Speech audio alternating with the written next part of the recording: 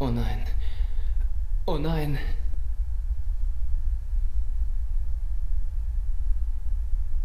Gut, mehr werden wir jetzt wahrscheinlich nicht von ihm erfahren.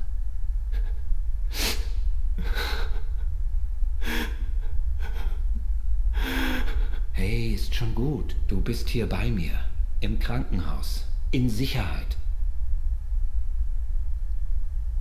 Junge? Hörst du mich noch? Weggetreten. Okay, okay. Du hast ja recht, das reicht wohl für heute. Das war schon sehr viel. Wir belassen es dabei. Ruh dich jetzt aus. Es ist spät. Ich komme morgen wieder. Ich weiß bloß gerade nicht so richtig, was das Wort Delete jetzt mit der Erinnerung zu tun gehabt hat, also inwiefern das die wachgerufen hat.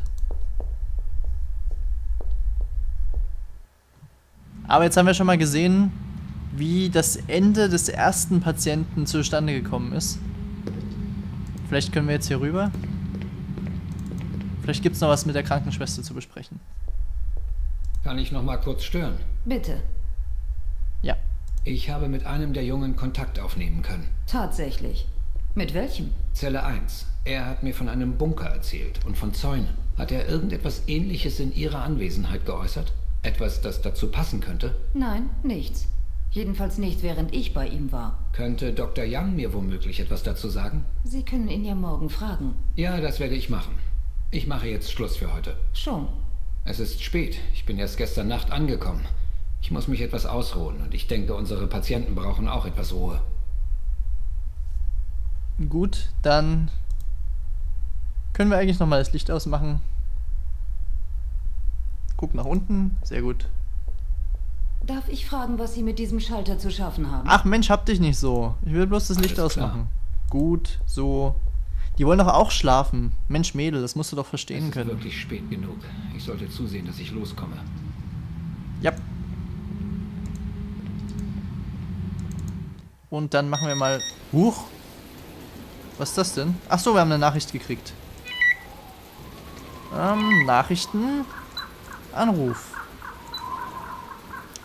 Du hast versucht, mich anzurufen. Ich habe zurückgerufen auf deine Hotelnummer, Kim. Ähm, löschen geht nicht, alles klar. Gut. Dann also ab ins Hotel und den Anrufbeantworter abgehört. So, zurück zur Fähre. Ich finde es gut, dass das so schnell geht hier, der Szenenwechsel, wenn man das will. Dadurch kommt man wirklich sehr schnell eigentlich von der Klinik hierher wieder zurück ins Hotelzimmer. Und da sehen wir es doch schon blinken. Wir haben eine Nachricht. Sie haben eine Nachricht. David, ich habe nachgedacht. Du brauchst nicht wiederzukommen. Och, Ich reiche die Scheidung ein. Bitte ruf mich nicht mehr an. blöde Mein Kuh. Anwalt erledigt alles weitere. Es tut mir leid.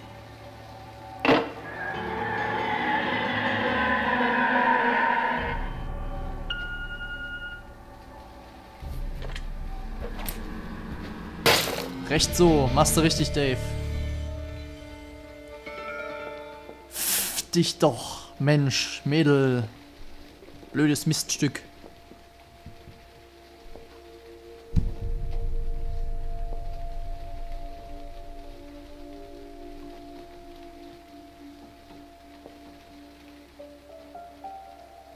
So.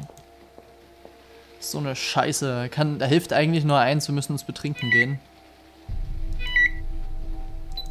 Und sowas sagt die uns vor allem auf einen Anrufbeantworter, anstatt mit uns persönlich zu sprechen. So ein feiges Miststück.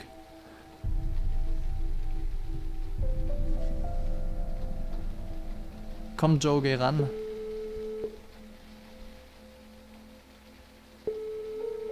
Ach, shit.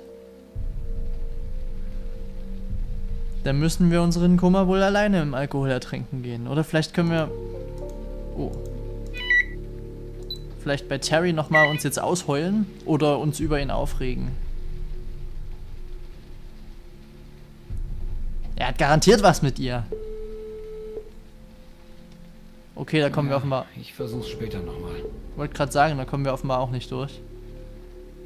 Gut, dann gehen wir was trinken, würde ich sagen. Hilft ja alles nix. Was willst du machen? Vielleicht können wir hier irgendwie Rat bei unserem Freund Mr. Flynn einholen. Mr. Flynn, Sir, Nein, schade. ich muss los. Bis später. guten Tag noch, Sir.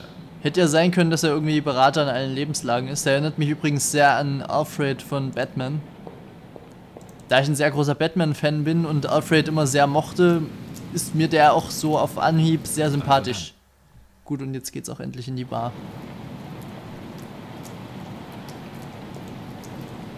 Dann gehen wir mal rein. Guten Abend. Guten Abend. Was ist das für ein Oberstecher? Hm. Setzen wir uns mal hin. Also, was soll's denn sein? Einen Whisky. Auf Eis. Kommt sofort. Ist das nicht ein bisschen stark für dich? Was schnappen? Ah, dich. Muss aufpassen, was ich sage in der Öffentlichkeit.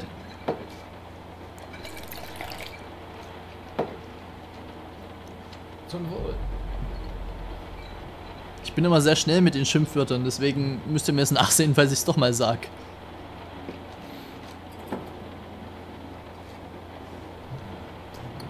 Neu hier in der Gegend? Geschäftsreise. Ich wohne gegenüber im Skyline. Sie sind von auswärts. Washington. Hm, das ist eine ganz schöne Ecke. Und? Gefällt Ihnen New York? Harten Tag gehabt, was? Geben Sie mir noch einen, bitte. Alles klar. Also für amerikanische Verhältnisse ist es doch eigentlich gar nicht so eine große Ecke. Egal ob der, der Staat Washington oder Washington DC, also es müsste eigentlich gar nicht so weit sein. Liegt New York nicht sogar im Staat Washington oder irre ich mich da gerade? Ich kenne mich jetzt nicht so doll aus mit Geografie, aber mir war so. Sagen Sie, haben Sie von dem Mädel gehört auf der Kreuzung heute Morgen? Ja. Kleine, nackt, mit Pistole. Der doch nicht. Die schwuchtelt doch nicht. Ey, pf dich! Ja, hab ich. Hm, wird immer schlimmer mit den Kids. Jeder Halbwüchsige rennt heute mit einer Knarre durch die Gegend. Wo man hinguckt, Gewalt. Tja, Tja, nicht dein Thema, was? was Ich hau dir auf die Fresse, Mann! noch einen. Sicher. Scheint ja ein verdammt harter Tag gewesen zu sein.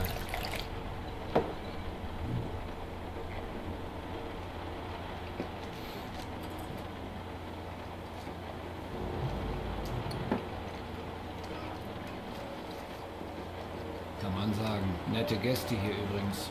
Stören Sie sich nicht an Riker. Ist nur besoffen. Ich dachte mir sowas.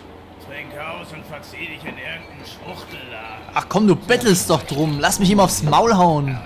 Noch einen, bitte. Schmeiß den Bettmesser raus, Randall. Es reicht jetzt, Riker. Trink noch ein und halt die Klappe. Wohlsein. Tut mir leid. Hören Sie gar nicht hin. Riker ist geistig in Vietnam geblieben. Schon in Ordnung.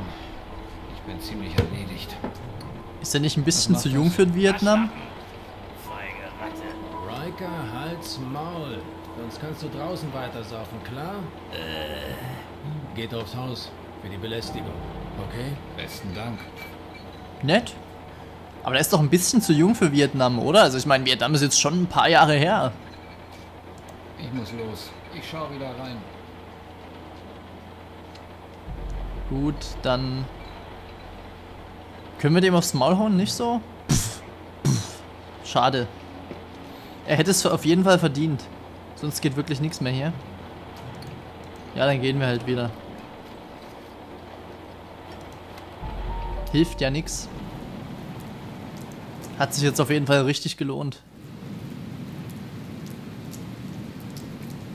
Vielleicht kann er ja jetzt schlafen, nachdem er sich ordentlich einen hinter die Binde gegossen hat.